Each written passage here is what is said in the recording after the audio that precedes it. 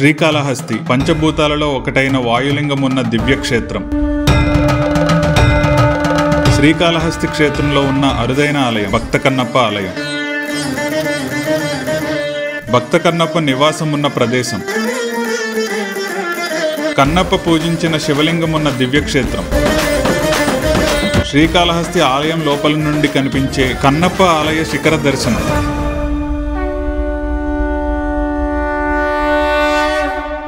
Welcome back to Bhakti TV vlogs.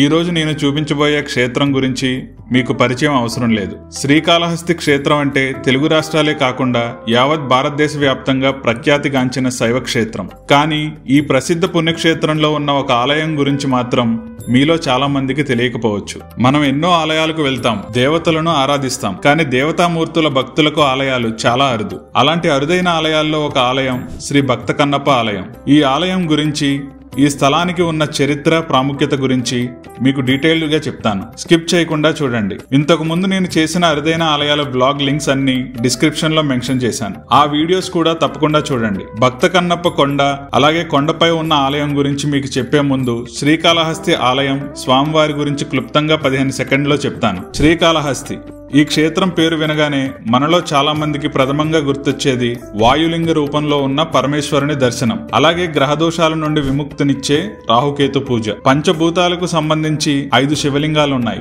వాటిలో నాలుగు తమిళనాడులో ఉంటే ఒకటి మాత్రం శ్రీకాళహస్తిలో ఉంది. శ్రీకాళహస్తిలో ఉన్నది వాయులింగం. ప్రాణవాయులింగం అని కూడా అంటుంటారు. ఇక్కడ శివలింగాన్ని అర్చకులు కూడా తాకకుండా అభిషేకం చేస్తారు. స్వామివారి లింగానికి తొమ్మిది మెట్ల రూపంలో ఉన్న కవచం ఉంటుంది. ఆ తొమ్మిది మెట్ల రూపం రూపంలో ఉన్నవి తొమ్మిది గ్రహాలు. అది నవగ్రహ కవచం అంటారు. నవగ్రహాల శక్తి అంతా కూడా శ్రీ కాళహస్తీశ్వరుని ఆధీనంలో ఉంటుందని చెబుతారు. అందుకే గ్రహణ సమయంలో కూడా తెరిచి ఉంచే ఏకైక ఆలయం శ్రీకాళహస్తి ఆలయం.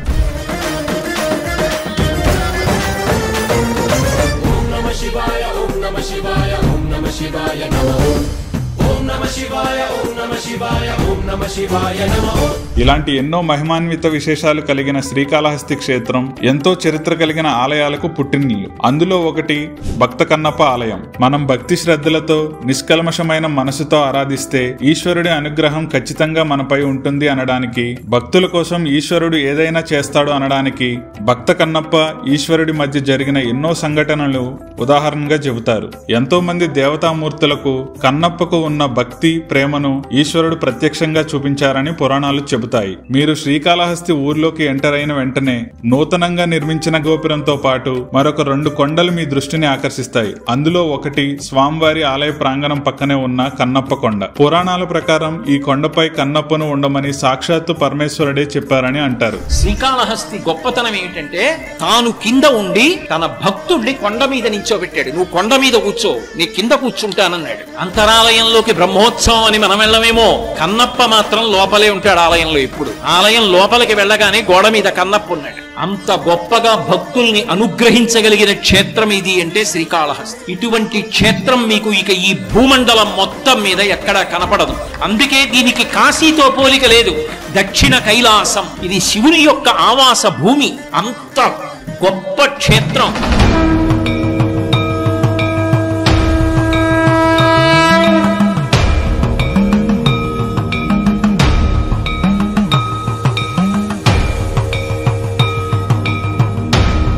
స్వామి అమ్మవార్ల దర్శనం తరువాత మీరు ఆలయ శిఖర దర్శనం చేసుకోవడానికి ఆలయం నుంచి పైకి చూస్తే శ్రీకాళహస్తీశ్వర స్వామి శిఖరం శ్రీ జ్ఞాన ప్రసూనాంబ అమ్మవారి ఆలయ శిఖరంతో పాటు ఇంకో ముఖ్యమైన ఆలయ శిఖరం ఇక్కడ మీరు చూడొచ్చు. అదే భక్త కన్నప్ప శిఖరం. స్వామి అమ్మవార్లు కింద ఉండి తన భక్తుడైన కన్నప్పను కొండపై ఉంచిన గొప్ప చరిత్ర కలిగిన క్షేత్రం శ్రీకాళహస్తి. శ్రీకాళహస్తి వస్తే స్వామివారి దర్శనంతో పాటు కన్నప్ప కొండను తప్పకుండా దర్శించుకోండి. మీరు ఆలయ ప్రాంగణంలోకి వెళ్ళిన వెంటనే స్వామివారి అన్న సమారాధన భవనానికి ఎదురుగా ప్రసాదం కౌంటర్లకు పక్కనే కన్నప్ప కొండకు మార్గం అని ఒక బోర్డు మీకు కనిపిస్తుంది. అక్కడి నుంచి సుమారుగా రెండు వందల యాభై నుంచి మూడు వందల మెట్లు ఎక్కి మీరు కన్నప్ప ఆలయాన్ని దర్శించుకోవచ్చు. ఈ ఆలయానికి వెళ్ళడానికి సగం దూరం వరకు రోడ్డు మార్గం కూడా ఉంది. రోడ్డు మార్గంపై వెళ్ళినా కూడా మీరు సుమారు వంద మెట్లు అయితే ఎక్కాల్సి ఉంటుంది. మీరు దాదాపుగా యాభై మెట్లు ఎక్కగానే మీకు శ్రీకాళహస్తి క్షేత్ర ఆలయ ప్రాంగణం మొత్తం కనిపిస్తుంది. మీరు ఎంతో ప్రశాంతంగా ఇక్కడ ఆలయ శిఖర దర్శనాలు ధ్వజస్తంభ దర్శనం దర్శనాలు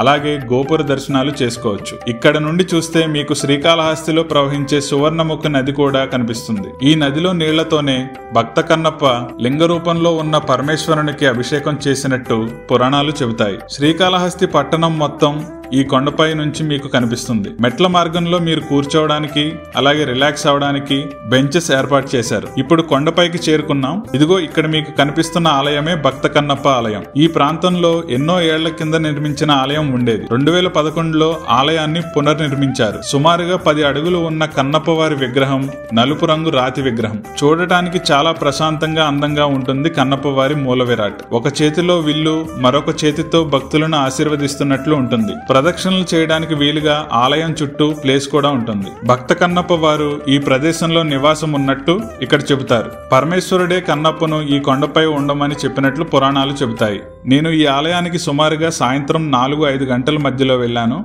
మీరు ఉదయం పన్నెండు గంటల లోపు వెళ్తే ఇక్కడ పూజారి గారు ఉంటారు. మీరు పూజ అర్చన లాంటివి చేయించుకోవచ్చు. సాయంత్రం వేళలో కేవలం దర్శనం మాత్రమే చేసుకోవడానికి వీలు ఉంటుంది ఈ ఆలయానికి ఎదురుగా ఉన్న ధ్వజస్తంభం పక్కనే కొన్ని చిన్న ఆలయాలు ఉంటాయి.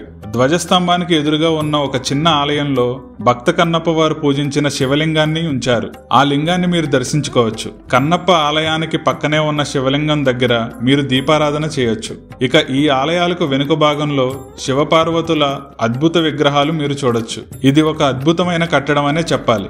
దాదాపుగా యాభై అడుగులు ఉండే ఈ విగ్రహాలు మొత్తం శ్రీకాళహస్తి క్షేత్రాన్ని శివపార్వతులు అనుగ్రహిస్తున్నట్లు ఉంటాయి. ఈ ప్రదేశం నుంచి చూస్తే మీకు శ్రీకాళహస్తి టౌన్ మొత్తం కనిపిస్తుంది. మంచి వ్యూ సువర్ణముఖి నది చల్లని గాలితో ఈ కొండపైన చాలా ప్రశాంతంగా ఉంటుంది. అలాగే ఈ కొండపైకి ఎక్కే మార్గంలో సగం దూరం వచ్చాక మీకు నాగమ్మ అమ్మవారు కనిపిస్తారు. ఈ అమ్మవారికి చాలా ఏళ్ళ ఘన చరిత్ర ఉంది. ఇక్కడ ఉన్న వేప చెట్టుకు వివాహం కావలసిన వారు పసుపు కుంకుమలు కడితే వివాహ యోగం కలుగుతుందని అలాగే సంతాన సమస్యలతో బాధపడుతున్న వారు వేప చెట్టుకు ఊయలను కట్టి దీపారాధన చేస్తే సంతాన ప్రాప్తి కలుగుతుందని భక్తుల నమ్మకం. తాము అనుకున్నవి నెరవేరాక భక్తులు ఇక్కడ నాగులను ప్రతిష్ఠించడం ఇక్కడ ఆనవాయితీ. మీరు ఇక్కడ చూస్తున్న నాగ ప్రతిమలు అన్ని భక్తులు ప్రతిష్ఠించినవే. ఇంకో ముఖ్యమైన విషయం ఏమిటంటే ఈ కొండపైన ఎటువంటి షాప్స్ అయితే అయితే ఉండవు కాలినడకన ఎక్కాలి కాబట్టి వాటర్ బాటిల్ లేదా గ్లూకోజ్ లాంటివి మీ వెంట తీసుకుని వెళ్ళండి. ఇది శ్రీకాళహస్తి క్షేత్రంలో ఉన్న భక్త కన్నప్ప కొండ యొక్క విశిష్టత.